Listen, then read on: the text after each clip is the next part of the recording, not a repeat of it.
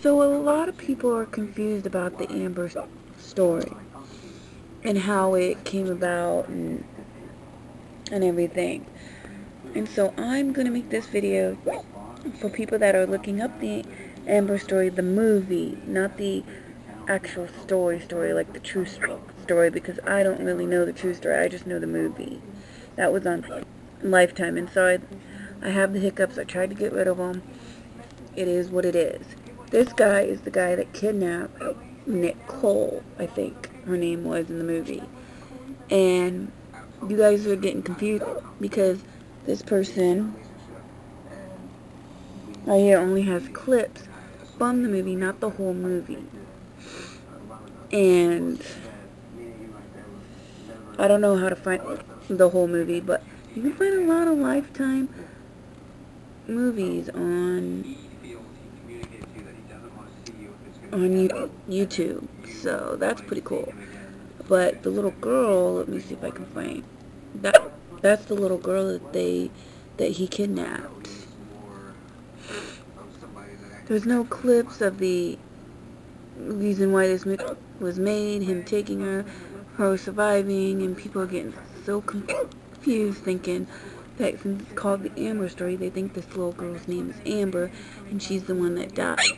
They're like, yeah, it's it's it's funny how in the movie they made they made it so it looked like she survived, but in real life she didn't survive. She was killed. Mm.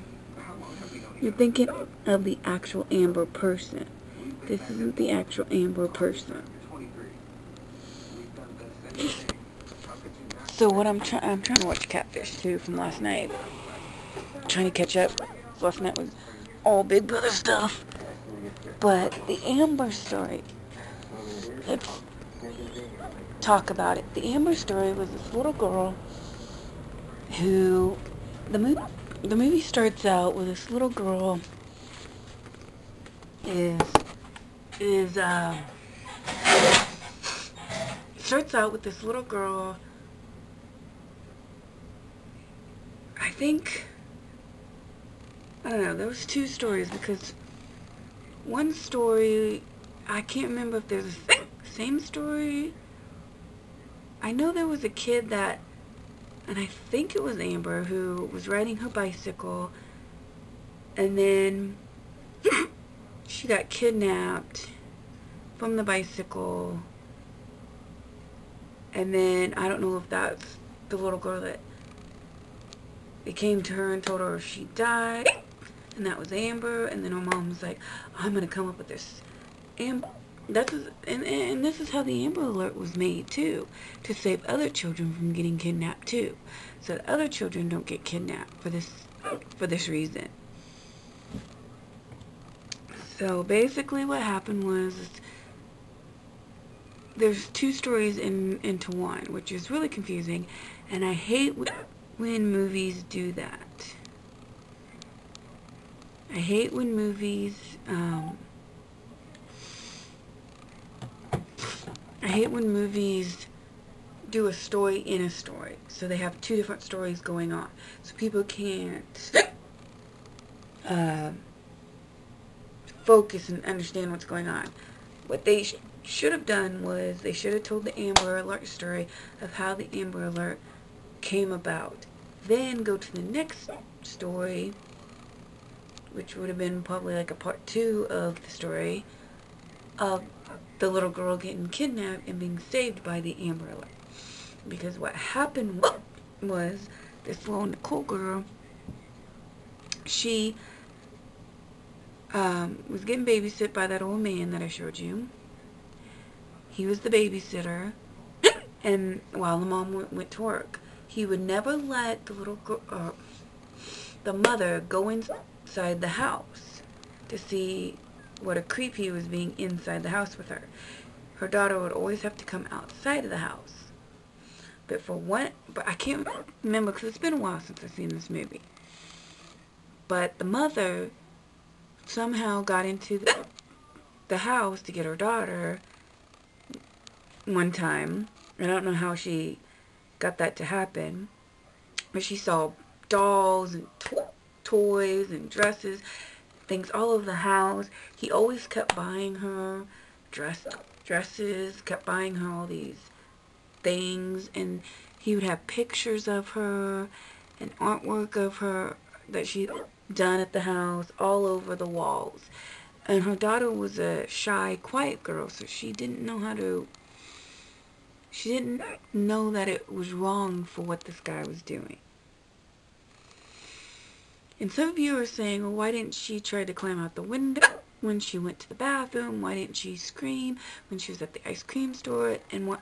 And yes, it is kind of weird that an ice cream store had dresses, but anyways, and I think it's because she's a shy girl and she didn't know how to ask for help she was probably scared and worried that if she tried to ask for help, he might make up some kind of thing. Oh, I'm her grandpa. She just doesn't like me because she misses her mommy and wants to go home. So she's making this up, you know. You don't know how kids are, type of thing. So she probably was, you know. So, so when you could be like me when you watch movies. Put your mindset in the characters and go with what you think the characters are thinking at the moments when things are happening. So I put my mind into that child on why she didn't do the things she did. So, and she also probably thought he was going to ki kill her for getting him, trying to get him in trouble. So, basically how the, if you don't know how the Amber Alert works is right when a usually the rule is when someone has been kidnapped or missing for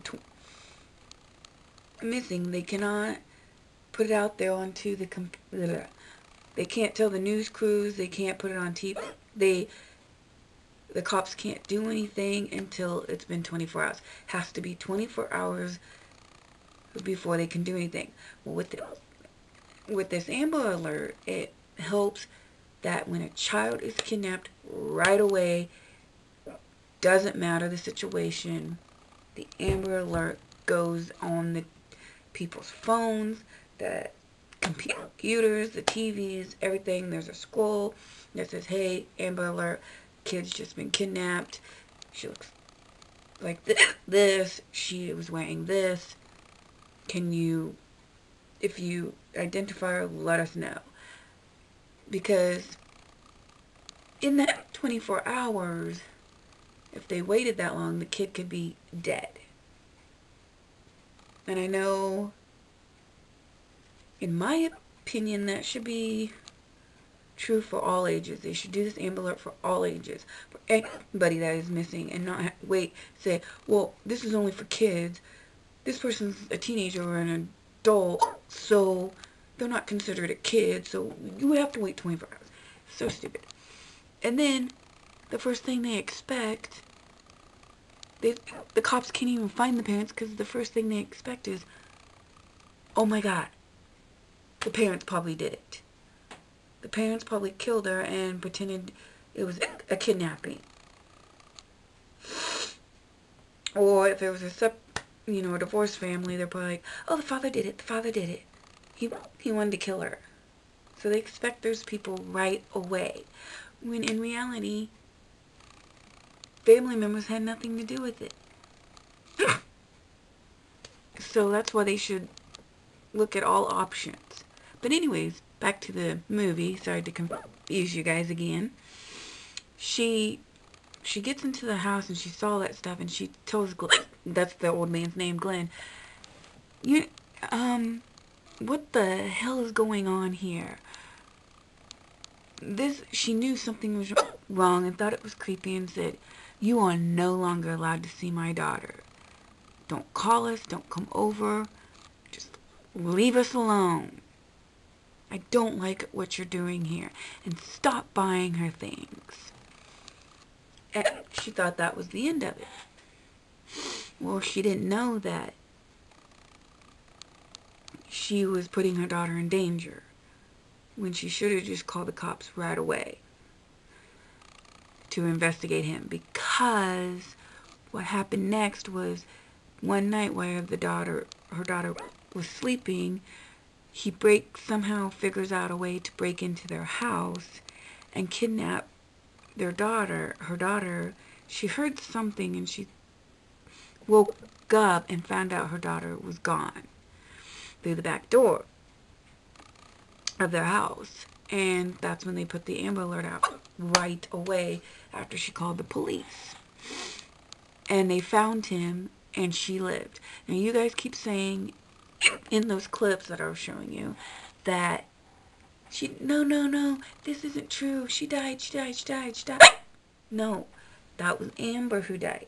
The girl in the clips or another girl named Nicole. What the person should have did that was putting just the clips out instead of the whole movie, which I don't know why they didn't just put the whole movie out, is they should have put in the description and explained that this is Nicole. This is the girl that got saved by the Amber Alert, not Amber herself. Because they didn't really show in depth the Amber story and how she got kidnapped where she was found and all that stuff.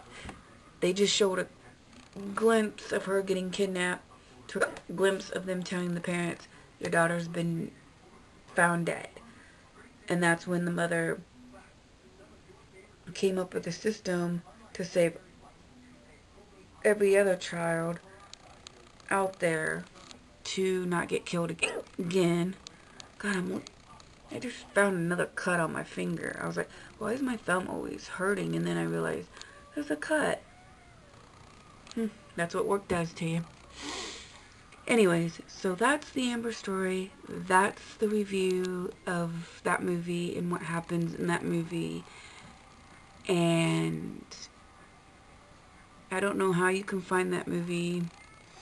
I mean, if you have the channel Lifetime, just keep checking Lifetime until they show it because they're always showing old movies like that on TV. Um, if you're lucky, maybe you could buy it on Amazon or something.